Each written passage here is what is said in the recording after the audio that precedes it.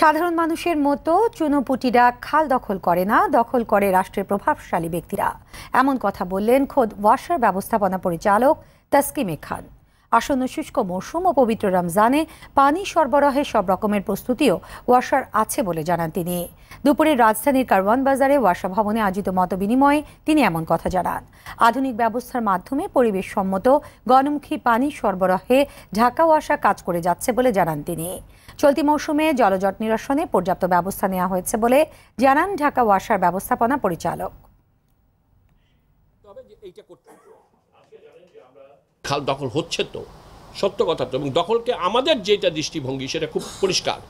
আমরা খাল দখলের ব্যাপারে কাউকে কোনো ছাড় দেইনি, দেবও না। যেটা যোগসূত্র থাকলে একমাত্র আমার বা আমার লেভেলের কারও থাকতে হবে। তা নাহলে কোনো সাধারণ মানুষের পক্ষে একটা খাল দখল করা সম্ভব না। অতএব খাল দখলে কোনো এই মানে চুনোপুঠির ব্যাপার না।